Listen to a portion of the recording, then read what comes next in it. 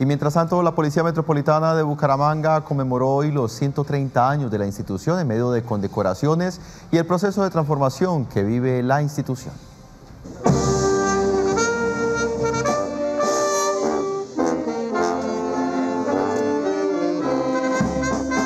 Tras entonar las notas del himno de Colombia, el general Samuel Bernal, comandante de la Policía Metropolitana de Bucaramanga, recibió de manos de las autoridades del departamento las condecoraciones como agradecimiento por su servicio en la región. Ese proceso de transformación nos transforma a nosotros el corazón, nos transforma también nuestra forma de actuar, de pensar. No es solamente el uniforme, sino que viene ligado, encadenado a mucha transformación cultural esa transformación cultural del actuar, de pensar, de una policía joven que trabaja con los jóvenes y más cerca a la comunidad. Con palabras desde el corazón, Mauricio Aguilar, gobernador de Santander, felicitó a la policía en sus 130 años de servicio a los colombianos. Sin duda, siempre a esta gran institución le, le guardo todo el inmenso cariño. Es una institución a la cual yo amo y respeto mucho, a la cual le debo lo que yo soy, porque también gracias a nuestra policía me pude educar. Pero hoy queremos hacerle ese reconocimiento a esos hombres y mujeres que en esta época de fin de año van a estar lejos de sus seres queridos, que no van a compartir la noche de velitas, que no van a poder compartir